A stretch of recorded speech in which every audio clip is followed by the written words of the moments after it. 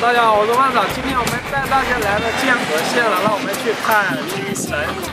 在我身后呢，这个就是彩虹桥，到晚上的时候就特别的好看，啊，白天的话就看不到什么样子啊。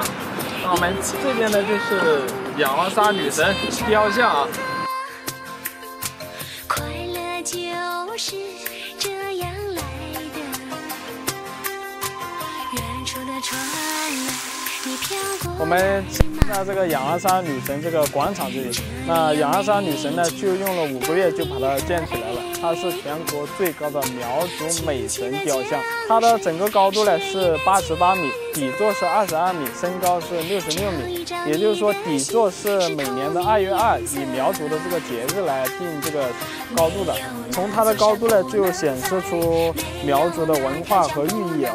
仰恩沙的故事呢，是一个关于一位热情奔放的苗族姑娘，凄美而优雅的爱情故事。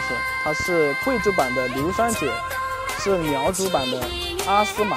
现在的仰沙已经被列入第二批国家级非物质文化遗产名录。这个仰沙的故事呢有很多，那我们呢以后会给大家讲解的，特别是剑河还有温泉。